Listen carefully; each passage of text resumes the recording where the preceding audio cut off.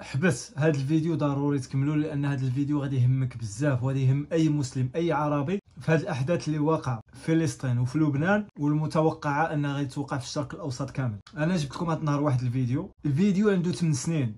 منين تلاح في اليوتيوب؟ منين تلاح في اليوتيوب عنده 8 سنين. ولكن كنتوقع أن هذا الفيديو عنده أكثر من 8 سنين لأن واحد اللوحة اللي هي الدليل على هذا الشيء والنبوءات اللي راها كتوقع دروك تلقات في 2006 واحد الدكتور سميتو أحمد الجوهري أعطى نبوءات بالتفاصيل. نتاع هذا الشيء اللي راه واقع دروك. أن الصهاينه من فلسطين غادي يدخلوا للبنان من تما سوريا واش غادي يوقع؟ وكيفاش غادي تكون النهاية ديالهم؟ والملحمة الكبرى والحرب الكبيرة اللي غادي يموتوا فيها بزاف ديال المسلمين. ملي كنقول بزاف ديال المسلمين راه بزاف ديال المسلمين. لا في الشرق الأوسط ولا في شمال إفريقيا. يعني رانا على الأبواب الحرب العالمية الثالثة والملحمة الكبرى. المهم أنا ما غاديش نطول عليكم بزاف. بصح ضروري كمل هذا الفيديو إلى النهاية. تفرجوا حتى النهاية. هناك غير عبد الملك بن مروان. أيها السادة حين أعلنت عن هذه القطع الأثرية في مؤتمر الآثاريين العرب سخر مني واستهزأ بما قلته رجل كان يتربع وقتئذ على عرش المجلس الأعلى للآثار الفرعونية في مصر. فوعدته بأن ظهور صورة, صورة نبي الله موسى عليه السلام سيغرقه سيغرقه كما غرق فرعون الأول على يد موسى عليه السلام. وهذا ما وقع. لقد سقط نظام حسن مبارك وسقط معه الرجل. وإنني الآن أتوجه بالنصيحة لقوم موسى عليه السلام. وأخص في ذلك قادة الكيان الإسرائيلي وأهل الحل والعقد فيهم. فأقول يا بني إسرائيل إن أرض الله واسعة. وفلسطين فيها خير كثير وكبير. يسعكم ويسع أهلها. فهل لا تعايشتم مع شعبها؟ لكم ما لهم وعليكم ما عليهم. أنتم تفخرون بأن إبراهيم عليه الصلاة والسلام هو جدكم. حسنا. هل لا حذوتم حذوه عليه السلام؟ إذ جاء من بلاد النهرين فعاش في فلسطين مع أهلها في ود وسلام.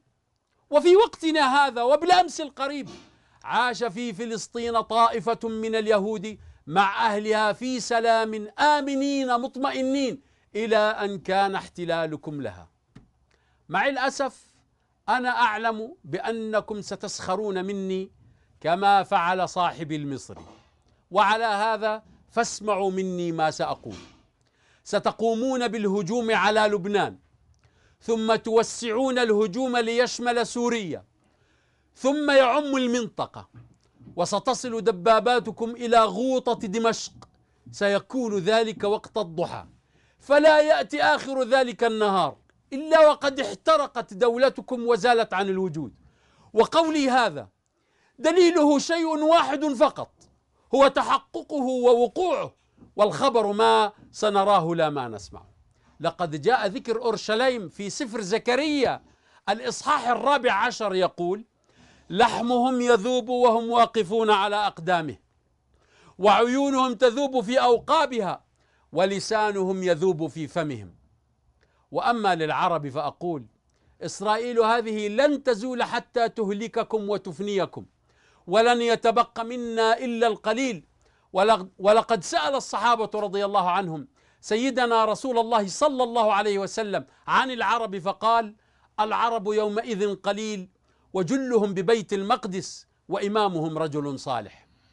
أيها الناس إنها الحرب العالمية الثالثة ستنطلق من لبنان ولن يقدم عليها إلا مجنون متهور ولكنها واقعة لا محالة. وإن الله إذا أراد امرا أخذ من أصحاب العقول عقولهم حتى يتم أمره. إنها أحداث النهاية وهي مخيفة ومرعبة وكريهة ولكنها جميلة لأنه سيأتي بعدها زمن العدل والحق بعد أن عاش العالم كله زمن الدجل والتضليل والكذب الذي مارسه رجل يعيش بيننا منذ آلاف السنين. شابا همه وشغله مع شريكه إبليس إغواء الخلق. وصرفهم عن منهج الله الحق. إنه المسيح الدجال ذاك الشاب المنظر المعمر السامري زعيم الحركة الماسونية والذي هو المعني مع شريكه إبليس في هذه الآية. وقال الذين كفروا ربنا أرنا اللذين أضلانا من الجن والإنس نجعلهما تحت أقدامنا ليكونا من الأسفلين. سيخرج المسيح الدجال بعد الحرب القادمة. لمدة أربعين يوما. لا ليبدأ رحلته في الدجل والكذب والتضليل بل هو يخرج من السرية والاختفاء إلى الجهر والعلن فتكون نهايته على يد المسيح الحق عيسى بن مريم عليه الصلاة والسلام. أيها الناس الحرب القادمة موت أحمر وحريق كبير يشهده معنا نبي الله موسى عليه السلام من خلال صورته في هذه اللوحة الأثرية ليكون ضيف شرف في حفل وداع عالم المادة الظالم واستقبال عصر حفيد رسول الله وعيسى بن مريم عليهما الصلاة والسلام. فعلى جميع المعترضين والمشككين والغامزين واللامزين والمستهزئين عدم محاولة التخلف عن الاحتفال لأن الحضور إجباري.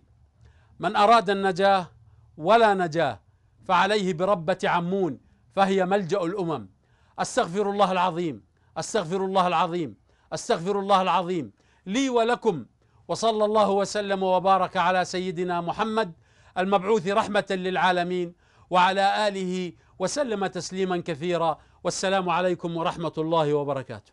المهم كما سمعتوا هذا الفيديو تخيل أن هذا الشيء اللي كيعطيه هذا السيد. غير منين محطوط في اليوتيوب هذه 8 سنين. أما اللوحة اللي لقاها ماشي هو اللي لقاها لقاها واحد السيد في سوريا. ويقال على حسب التأويل نتاع أحمد الجوهري كيقول لك صوبوها الجن لسيدنا سليمان. غير ديك اللوحة تلقات في 2006 ولوحة مصادق عليها أنها لوحة أثرية. وفعمرها أكثر من 3000 سنة. كل الخبراء الأثريين كتبوا عليها تقرير وقالوا باللي العمر ديالها أكثر من 3000 سنة. أحمد الجوهري كيقول باللي راه اللي رسموها هما الجن لسيدنا سليمان. كاين فيديوهات بزاف نتاع أحمد الجوهري اللي في اليوتيوب محطوطين هذه 13 عام 13 عام محطوطين كيهضروا على نبوءات اللي واقعين في هذا الزمان أنايا غادي نخلي لكم أجزاء بديت لكم هذا الجزء وغادي نخلي لكم واحد ثلاثة الأجزاء ولا نتاع هذه اللوحة اللي كيشرح عليها اللي فيها الصورة نتاع سيدنا موسى وفيها الصورة نتاع المسيح الدجال وفيها بزاف ديال النبوءات. المهم تسناو الأجزاء الجايين. أنا عارفكم غادي تملوا إلا جبت لكم فيديو فيه ساعة ونص ولا يتملوا بزاف. هادشي علاش قسمتو أجزاء. بارطاجي معك الفيديو. إلا ما بغيتش تخلي لايك ما تخليش المهم بارطاجي هذا الفيديو. أو لا دخل قلب على أحمد الجوهري. أحمد الجوهري وتفرج الفيديوهات ديالو. القناة ديالو قلب على الفيديوهات الأوائل باش تقتنع لأن واحد اللي عطى واحد النظرية هذه 13 عام ولا؟ ماشي بحال واحد اللي عطى النظرية هذه واحد الشهرين ولا العام اللي فات المهم هادشي ما كاين في الفيديو. تهلاو.